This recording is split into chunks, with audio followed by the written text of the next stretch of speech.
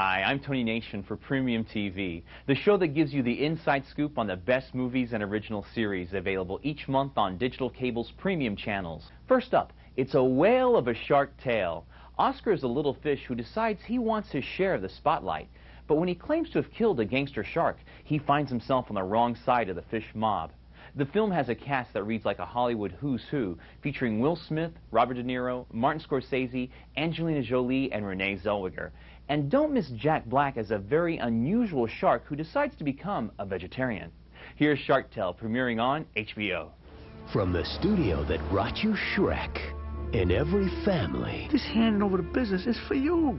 Next, there used to be a time when superheroes were a welcome addition to society, but after a series of lawsuits, they've all been forced into retirement.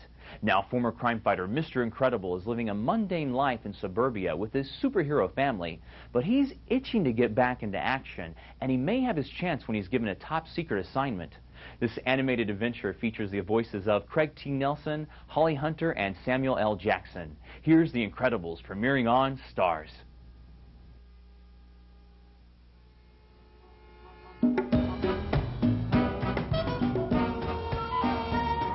What's the toughest thing about being a superhero?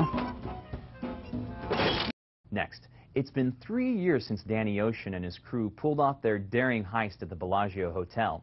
But now the owner of the Bellagio has tracked them down and wants his money back with interest. Catherine Zeta-Jones is the newest member of this all-star cast, all of whom have returned for the sequel.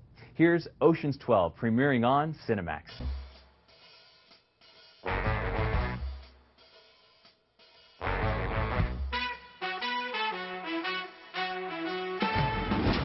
That's it for this edition of Premium TV. I'm Tony Nation. Join me again next month for another look at the best movies and original programs on digital cable's premium channels.